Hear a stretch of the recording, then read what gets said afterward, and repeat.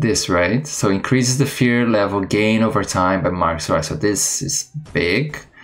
And then you got this, look at this. Reduces the fear threshold at which a survivor can be possessed.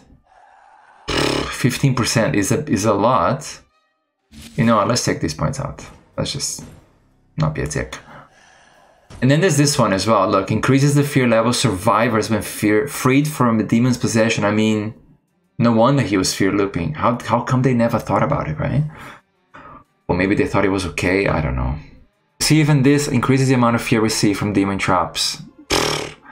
You put three points here. You put two points here. You put two points here, and then you have this as well. I mean, no wonder that was going to happen, right? It's just fear, fear, fear. And then, of course, the reason for that, so they, if they hire on fear, they take more damage.